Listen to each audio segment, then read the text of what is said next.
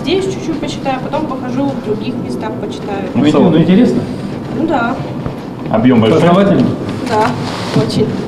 В субботу, 26 декабря, состоялось открытие исторического парка «Россия. Моя история». Публике представили четыре мультимедийные экспозиции – Романовы, Рюриковичи, «От великих потрясений к Великой Победе», а также «Россия. Моя история. 1945-2016». Этот э, музей будет э, центром притяжения для тех, кто изучает историю, для всех людей, кто любит культуру, любит свой край. Рядом здесь строится э, театральная выставочный зал, где будут представлены полотна и экспозиции Эрмитажа, Третьяковской галереи, Музея Востока, Русского музея.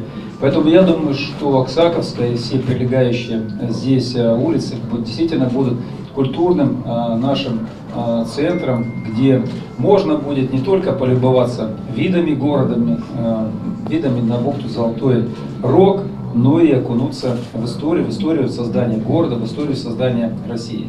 Создатели парка, историки, кинематографисты, дизайнеры и специалисты по компьютерной графике сделали все, чтобы российская история перешла из категории черно-белого учебника в яркое, увлекательное повествование. Для этого здесь установили все новейшие формы информационных технологий – сенсорные столы, экраны, инфографика, цифровая реконструкция, анимация и 3D-моделирование.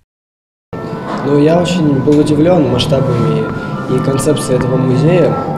А, он в каком-то плане уникален на, на всем Дальнем Востоке и может привлечь внимание людей любого возраста, от больших и малых. А моя задача здесь – это изучить историю своей Родины и рассказать младшим поколениям о истории нашей страны.